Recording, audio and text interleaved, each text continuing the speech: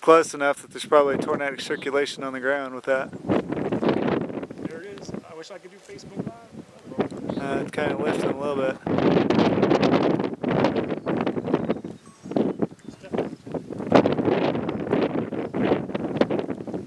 Throw my funnel in there. It's rotating pretty good there. I'm zoomed in on it. It's pulling that scud in and rotating.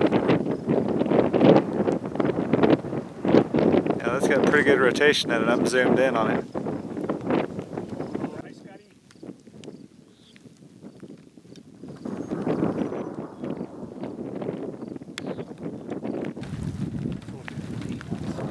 We're still there. Then we got more banding right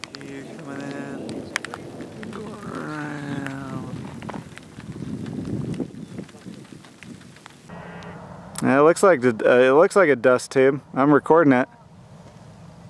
Yeah, that looks like a land spout. Oh, the, um, the, the, uh, dust. It's either a land spout or a big uh, dust devil.